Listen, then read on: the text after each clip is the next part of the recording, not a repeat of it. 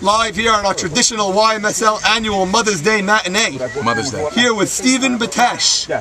Game-winning RBI in a You would not have crazy, Yes, I would have walked exciting last inning. Stephen, what happened on the last at bat? First, I want to say Happy Mother's Day to Mom and uh, to God upstairs. I love him. Next, how can I help you now? What do you need? I want to ask you about that game-winning hit that you had. That's for sure. Tell you the truth, it was. Uh, I've seen you play. I've played with you for a few years. Yes, thank you. I, I've I've seen you hit a lot of uh, a, a- lot of cleaner base hits than that game-winning shot. You know, listen, anything could happen in the game of baseball, and this confirms it right here, right now.